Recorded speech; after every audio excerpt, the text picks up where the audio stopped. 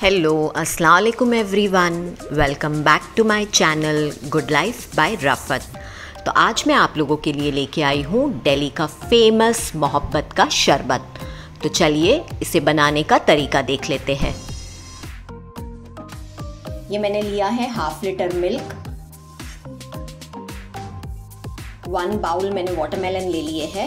इस तरह से चॉप्ड डाइस करके। ये मैंने हाफ़ कप शुगर ले ली है। ये ले लिया है वनीला एसेंस। ये हमारा रू अफजा।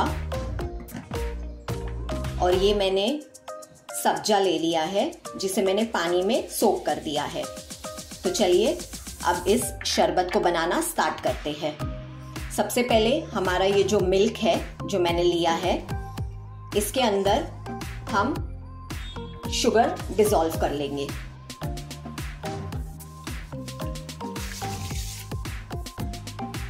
ये हमारा नॉर्मल मिल्क है, जो मैंने बॉईल करके फ्रिज में रख दिया था।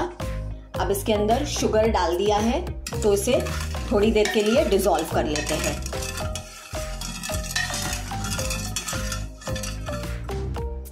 शुगर हमारी डिजोल्व हो गई है तो अब इसके अंदर मैं वन टीस्पून के जितना वनीला असेंस डाल दूँगी।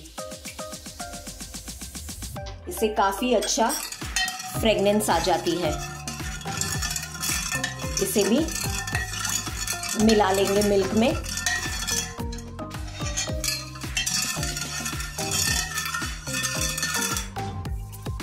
और जो हमारा सब्जा जो हमने भिगा के रखा था, इसे हम मिल्क में ऐड कर देंगे। ये अच्छे से सोख हो गया है पानी में। ये जो है, इन गर्मियों में हमारी बॉडी को बहुत अच्छी सी ठंडक पहुंचाता है। तो अब इसे भी हम अच्छे से मिक्स कर देंगे।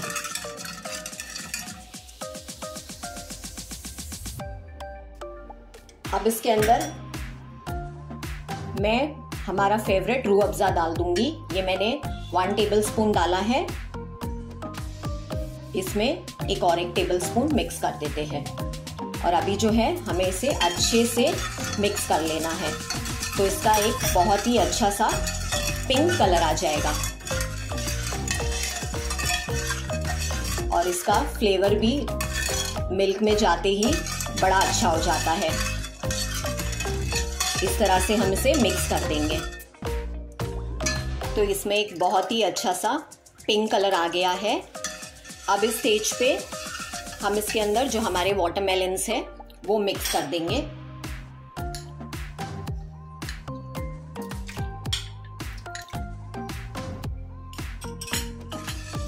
और इसे एक मिक्स दे देंगे। अब आप जो है, हमारा शरबत हो गया है रेडी तो हम इसके अंदर आइस डाल के फ्रिज में रख देंगे। और आपको जब भी इसे पीना हो तो एकदम ठंडा रिफ्रेशिंग निकाल के पी सकते हैं। तो ये देखिए, मेरा मोहब्बत का शरबत हो गया है रेडी इसे आप फ्रिज में चिल करके ठंडा मज़े ले लेके पीजिएगा। ये इन गर्मियों में काफ़ी रिफ़्रेशिंग रहेगा। आई होप आपको आज की मेरी ये मोहब्बत के शरबत की रेसिपी अच्छी लगी हो। अगर अच्छी लगे तो वीडियो को लाइक करिए और हमारे चैनल पे न्यू है तो चैनल को सब्सक्राइब करिए। आज के लिए इतना ही। अल्लाह हाफिज़।